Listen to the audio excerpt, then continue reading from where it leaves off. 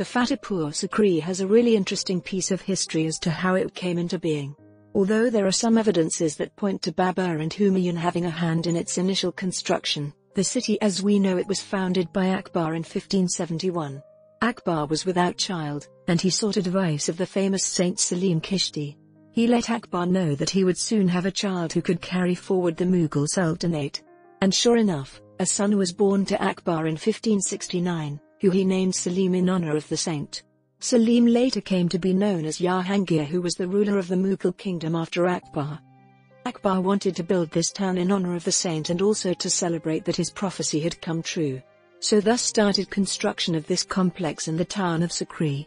The Buland Darwaza, the splendid entrance to the complex, was built to commemorate his conquest in Gujarat. Red sandstone was primarily used for the construction of the city which took a total of around 15 years to complete. However, water supply for the city was not taken into account initially. It was meant to be used from a small water body nearby, but that dried up within a few years. For this reason, Fatehpur Sikri was only a short-lived capital of the Mughal Empire.